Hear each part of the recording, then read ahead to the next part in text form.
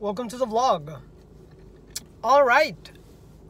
So imagine someone comes to you from a from a different country or something and they bring you a fruit. A fruit, right? And you eat it and you love it. It's the most delicious fruit you've ever had. Or one of them. Not the most maybe, but really really good. Right? But you've never been to that like this person came from a trip from a country that you had never been to. So, and this is a, a new fruit for you. So you're like, oh man, this fruit is amazing. You know, where does it come from? What tree does it come from? You all of a sudden you want to know because it's it's a fruit that you didn't know existed and it's beautiful, so amazing, right? And so it drives you to the study of the origin of that fruit. And so you you know, imagine that someone tells you, oh, this fruit comes from this tree, the tree of the such and such, which only exists in Thailand or something like that. So you go to Thailand and you go and you ask some people, or maybe you don't go to Thailand, but you go to the internet or find someone from Thailand and you ask some people and say, well, you know, is it true that this fruit comes from this tree? And they say, no, who told you that? that's a myth. That's not true. That fruit doesn't come. I have that tree in my backyard. They don't do. It doesn't bear any fruit. You know. Now imagine that at that point you go, "Oh, that that's a myth." You know, there was nothing to this. This is what I see people do, right? Said, but wait a minute. This all started with the real fruit you ate what does it matter that it's not that tree? It's got to come from somewhere. You know, for the mind, it's so easy to get to lose the sense of wonder. Oh, you know, it's proven to me a myth that didn't really happen. But where is the fruit from? The fruit, your experience, not an intellectual thing, anything planted, anybody planted. Your experience is that you ate a wonderful fruit. And then you wanted to study the origin, and it turns out that the origin is not so easy to trace. Well, wonderful. It's got to come from somewhere. The important thing is you love the fruit. So, Francis, what are you talking about? What does that have to do with martial arts? Everything, you know? Remember that my fascination with martial arts history started with the training. It's not that I ever set out to be a scholar of the history of the martial arts, and this is an intellectual pursuit for me. What it was is, I love the martial arts, and I've been training for many years, and I love it. And then, more recently, when I found my teacher George Lee, you know how incredibly this clicked with me and made me it really changed my life, right? Changed my life, and you know, I feel at home in that system in which I'm connecting with my body and learning a lot about myself. That's why I do all this. That's why the podcast, A Thousand Exits with Dan. That's why the YouTube videos. That's why I can't shut up about the martial arts. People who work with me, I work in the IT industry, right? People who work with me, I'm constantly talking about excuses about Bruce Lee and Kung Fu and martial arts. And not only those people, Jigoro Kano and uh, Funakoshi and Ueshiba. And so my point is, I love martial arts. Right. So for me, I had, with this particular system that George taught me, I really had a revelation. I thought it was an incredible system of honesty, connecting with the way the body works, the body mechanics. It was an experience I had, made me feel incredible. Talk about science in movement, right? But that was something I didn't set out to discover. It happened. And only because of that, my mind went, wow, who, who came up with this? What genius! Whether it's one person, whether it's multiple people over multiple generations, but there is no denying to me, whoever came up with this system has the category of genius because the system has changed my life it clicks with me in a very deep sense. It's led to knowing me, my, to knowing myself better, and it's become my passion to do and develop, right? You know, so now only because of that experience that is so real and life changing to me, I set out to know the history. I would have had no interest otherwise. It's not like I had a particular interest for the history. I've said it in another YouTube video before. In fact, in school, I didn't particularly like history. And now all of a sudden, I love history because it makes me curious of understanding the origin of them, of this incredible, incredible system. But in the study of that, there's many there's many gaps. There's many pitfalls. There's many things we don't know. There's many there's many rivers without a bridge or the bridge has destroyed. And so as we study the history, we go back to the founders. There is what we know. There is what we have no idea about. And there is what we have clues. And it's fascinating.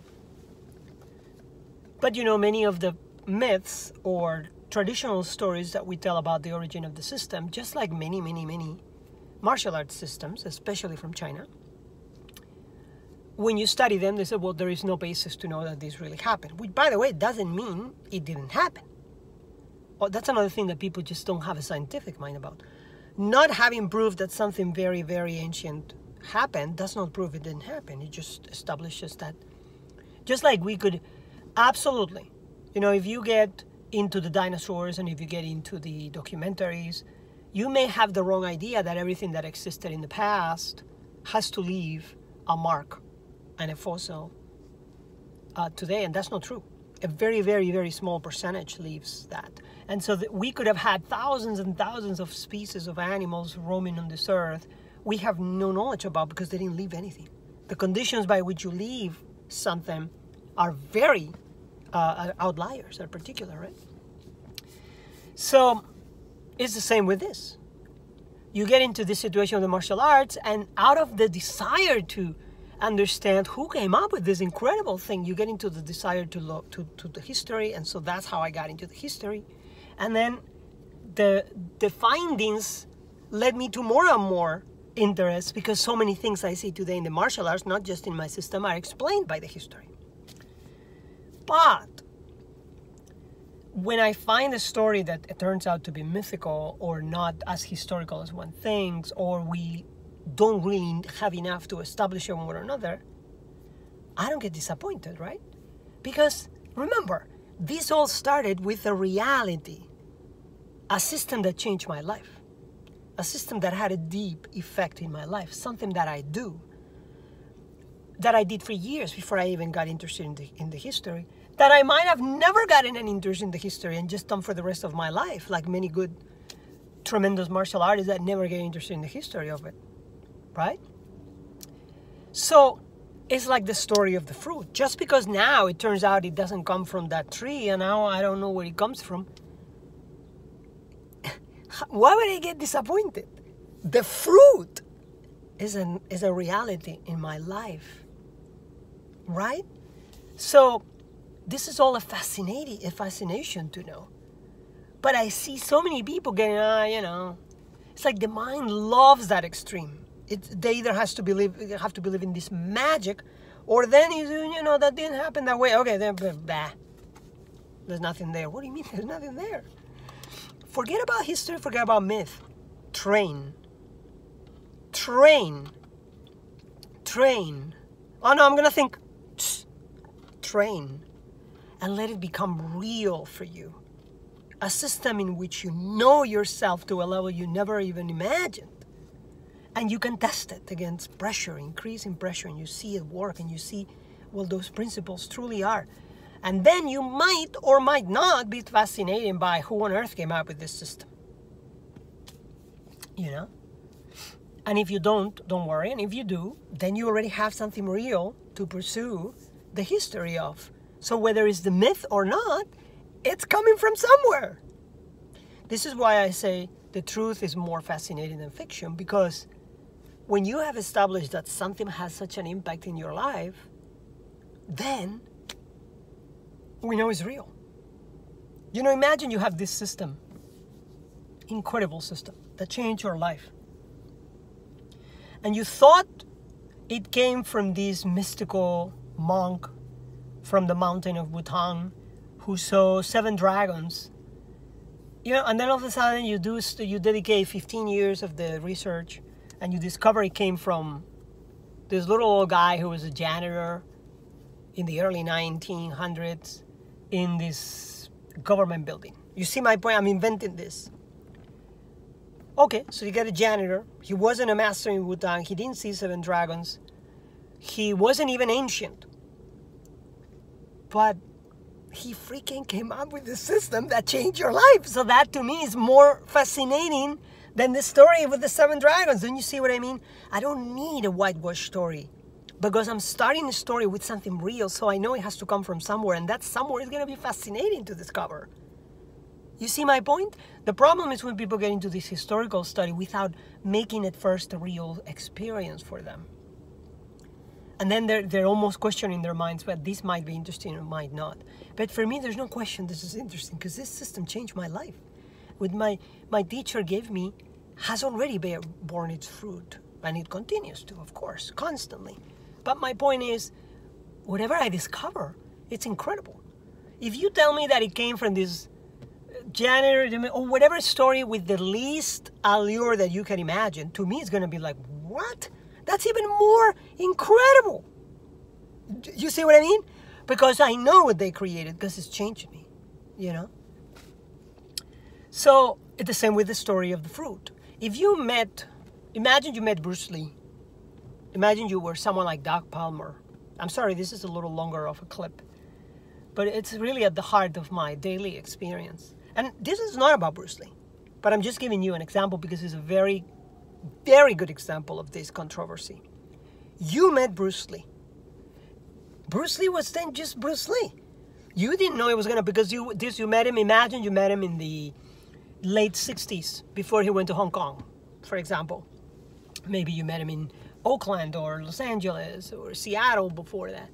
So, whatever, change your life, you know? Like, change the life of Jesse Glover, change the life of James DeMile, give you something, developed, help you develop yourself in one way or another. And you love that guy, love that guy, had a tremendous impact on you.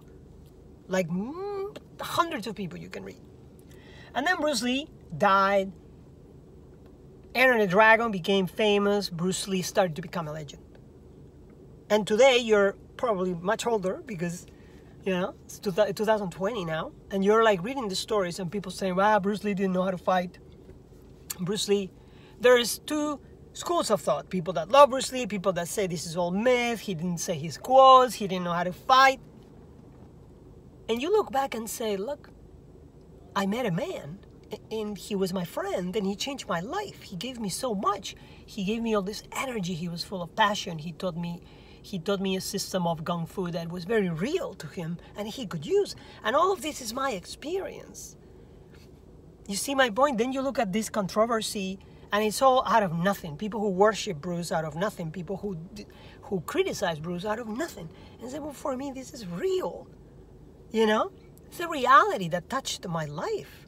I don't need to worship it and I don't need to criticize it. But since this was a man that influenced my life, I may I may develop an interest to know about him, but only out of the experience of having someone that touched my life deeply. You see? This is what happened with my system. And this is what happened with this hypothetical man that ate that fruit, which was a real delicious fruit for that person, right? Maybe you find the origin. Maybe you won't. But he loves that fruit. Stay safe.